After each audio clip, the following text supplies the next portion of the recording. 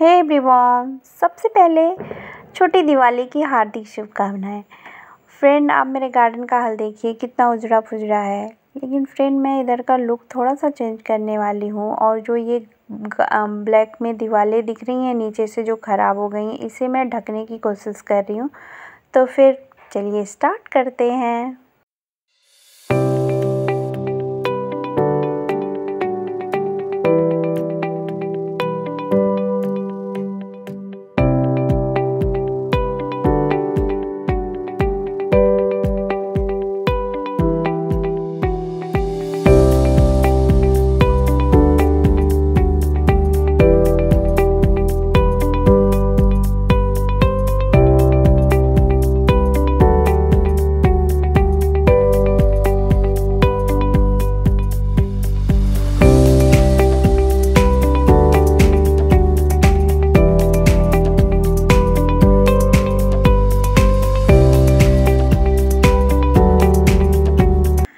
Finally मैंने इधर अपना जो भी प्लांट रखना था रख दिया और दीवार भी ढक गई, काफ़ी अच्छा लग रहा है इधर।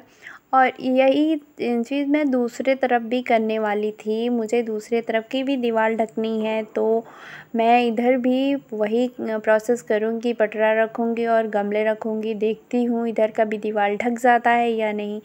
और फाइनली मैं सुबह से सोच लिया था मैंने कि आज मुझे गमलों को इधर से उधर, इधर से उधर करना है तो मैं लग गई थी वही करने के लिए। और दस बजे मैं लगी थी और चार बजे मुझे टाइम मिला।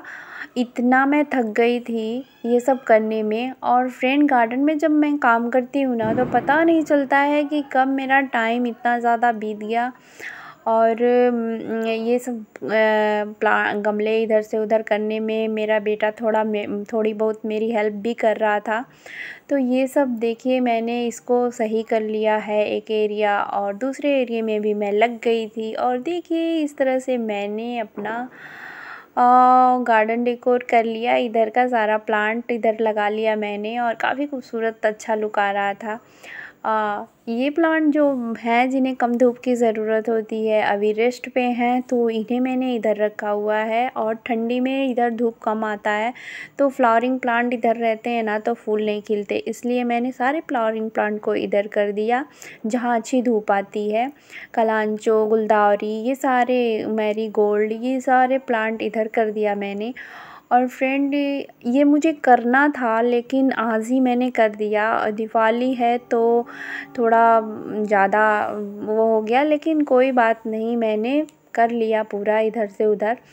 और देखिए कितना खूबसूरत लग रहे हैं मेरे ये बिल्ला लोग।